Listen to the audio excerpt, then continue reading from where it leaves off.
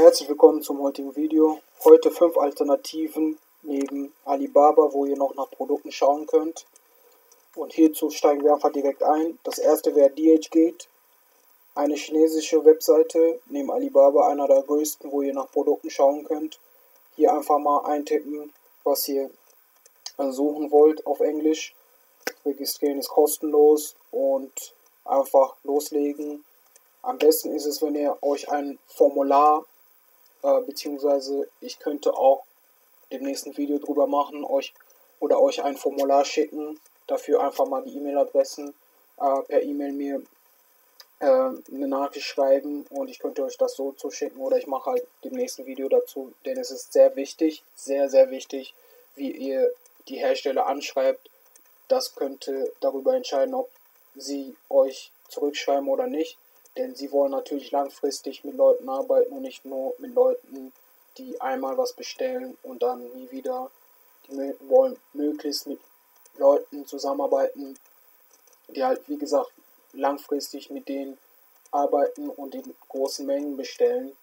Ihr müsst euch einfach vorstellen, die haben halt Maschinen, die haben Mitarbeiter und für sie rentiert sich mehr, wenn die Maschinen 8 Stunden, 16 Stunden durchlaufen oder sogar 24 Stunden durchlaufen, als wenn sie nur einmal irgendwie äh, vier Stunden durchlaufen, dann stehen die Arbeiter da. Ne? Also demnach sortieren die schon aus, wo sie schon ahnen, okay, mit denen könnten wir langfristig was ähm, geschäftlich was durchziehen oder halt nicht. Ne? Deswegen sehr, sehr wichtig, wie die anschreibt. Wenn ihr wollt, kann ich euch ein Template dazu geben, wie ich die Hersteller anschreibe und am Ende ist es einfach Copy und Paste. Ihr ändert einfach nur ein paar Sachen, euer Name, die Firma etc.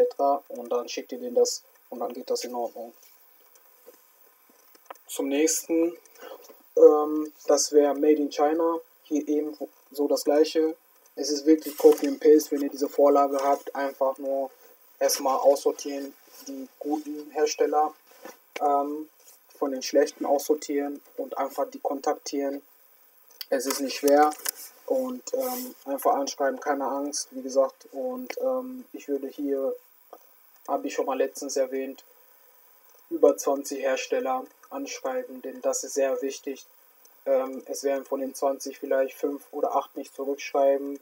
Ähm, 5 schreiben nur Scheiße oder die ähm, schreiben nur zwei Sätze und die anderen ähm, übersehen vielleicht ein paar ähm, Fragen, die ihr gestellt habt und nur drei oder fünf schreiben halt in Ordnung und das reicht halt nicht. Ne? Ihr wollt halt möglichst viel über die Hersteller wissen, beziehungsweise über das, was sie anbieten, über den Preis, über die Qualität, die Bilder sehen, das Sortiment und demnach ist es halt sehr wichtig, dass ihr mehr zur Auswahl habt, äh, mehr Hersteller zur Auswahl habt, von denen ihr lernen bzw. sehen könnt, was sie anzubieten habt.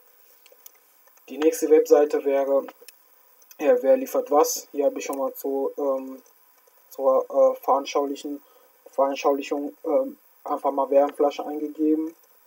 Und da seht ihr, ähm, könnt ihr einfach eine Firma Himmelgrün hier zum Beispiel einfach mal kontaktieren. Die haben 36 Produkte im Sortiment und ähm, einfach anschreiben. Ich bevorzuge selbst bevorzuge selbst chinesische Hersteller anzuschreiben, aus dem einfachen Grund, weil sie halt viel, viel billiger sind und äh, da kann ich einiges sparen. Das mag vielleicht der eine oder andere halt nicht machen. Wenn die Kriegskasse halt etwas gefüllt ist, könnt ihr auch europäische Hersteller anschreiben und ähm, diese Rechnung muss einfach jeder für sich machen. Die nächste Webseite wäre AllBiz. Hier auch das gleiche äh, einfach machen. Ähm, könnt ihr euch durchlesen hier unten, was die anbieten, die Details von dem Produkt, die Bewertung, falls sie welche haben. Und ähm, ja, einfach mal kontaktieren. Und los geht's. Einfach starten. Ihr müsst einfach starten. Wenn ihr euch eure Hausaufgaben richtig gemacht habt, die anderen Videos auch ähm, von mir gesehen habt oder noch Fragen habt, einfach fragen. Und ähm, dann, wenn ihr genau wisst, worauf es ankommt bei Amazon FBA, dann müsst ihr einfach starten.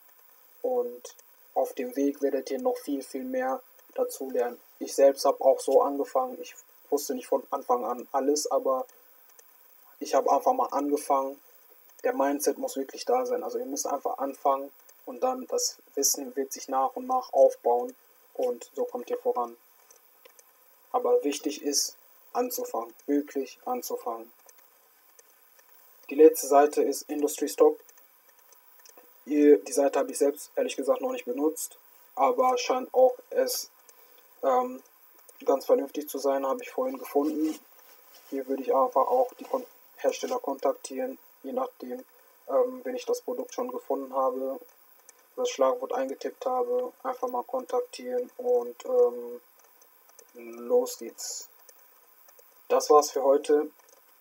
Wenn noch Fragen sind, einfach in die Kommentare.